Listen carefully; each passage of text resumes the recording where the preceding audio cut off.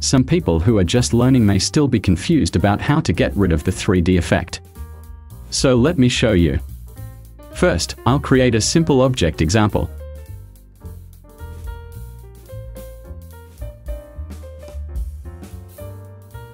And add it 3D effect. You can also follow this step.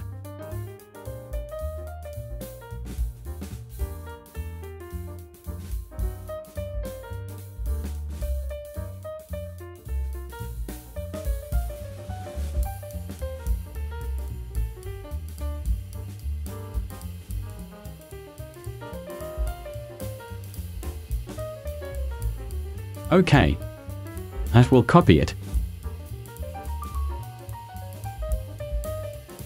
And I will remove the 3D effect from this object. Selection, Properties. Click the trash icon to delete it.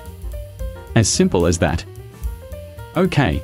Support this channel by clicking like and leaving your best comments.